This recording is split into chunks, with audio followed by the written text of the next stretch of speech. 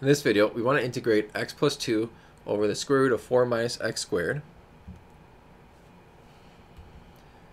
The way we're going to do this is by first splitting it up and then integrating each of those individually. So let's focus on the first integral. We're going to use u substitution, let u equal 4 minus x squared. So du is negative 2x dx. But in our integral, we have x dx, so we have to divide both sides by negative 2 to get negative 1 half du. And the denominator, we have the square root of u, which we're going to bring that up as u to negative 1 half power.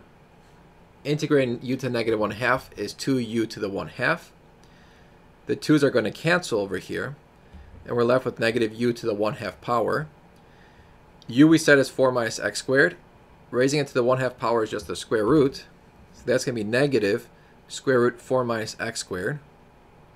Now on the second integral, notice that it's 4 minus x squared. Ideally, it would be nice to have 4 minus 4x squared. So how can we change the coefficient of x to make it 4? Well, we're going to do that by making a substitution.